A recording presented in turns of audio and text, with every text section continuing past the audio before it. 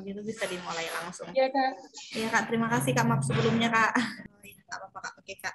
Oke kak, selamat uh, menerangkannya kak. Dua buah benda, masa M1 dan M2 dihubungkan tali seperti pada gambar di samping. Maka di bawah ya, masa M1 berada pada bidang miring dengan kemiringan theta. Koefisien gesek mu. Uh, kinetis sama statisnya sama, serta percepatan gravitasi G.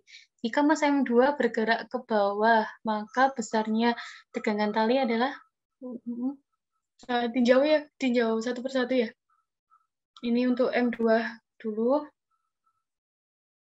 Ke bawah ada W-nya, kemudian yang ke atasnya ada T gitu kan. Terus karena di sini di katrolnya ini licin ya, di katronnya ini dianggap licin, nggak ada keterangan kan kalau di katronnya ada gaya geseknya.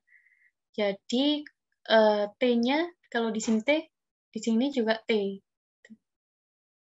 Satu tali ya, masih satu tali. Oke.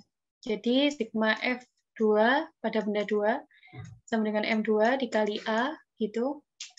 Ya, terus karena ini juga masih dalam satu tali, percepatannya juga sama ya. Jadi ini A-nya sama.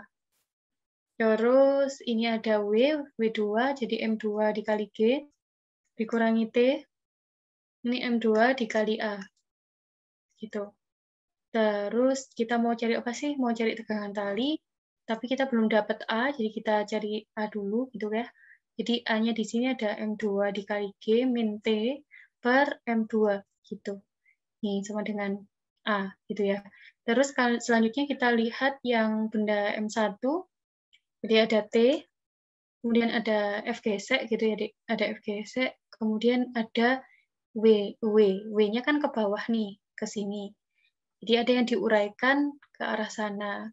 Tetanya ada di sini, jadi ini W, sin teta, gitu kan ya. Terus ada gaya normalnya di sini W cos teta. Ya, sehingga di sini untuk gaya normalnya sigma F arah gini ya, arah gini nih, itu tak anggap arah Y ya, Dek ya. Yang arah gini Y, yang arah gini X gitu. Sigma F arah Y-nya sama dengan 0, ada W cos theta dikurangi, sorry, W cos theta-nya ke bawah ya. Ini N, terus di sini W cos theta. Ya, W cos theta hmm, plus eh, N min W cos theta sama dengan 0. Jadi N-nya sama dengan W cos theta. Tuh, terus habis itu untuk sigma arah miringnya itu sama dengan M dikali A, ada T, T ke sana, ke atas, kemudian dikurangi W sin theta, dikurangi gaya geseknya, sama dengan M dikali A. Terus T, dikurangi M1G sin theta, dikurangi gaya geseknya mu dikali N, M-nya W cos theta berarti M1G cos theta ya sama dengan M dikali M1 ya. M1 dikali dengan A gitu. Terus A-nya yang ini kita substitusikan ke sini. Aku lanjutin di sini ya.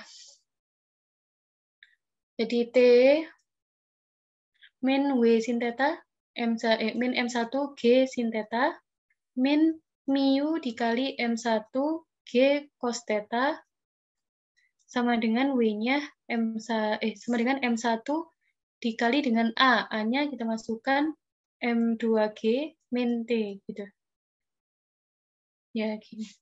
Oke, jadi T-nya yang ada T-nya kita pindah. T dalam kurung 1 plus M1 per M2 gini.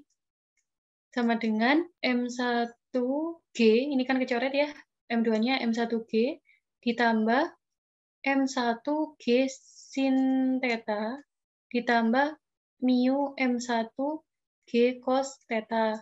Jadi T T dalam kurung 1 plus M1 per M2 sama dengan M1G dalam kurung 1 plus sin theta plus mu cos theta.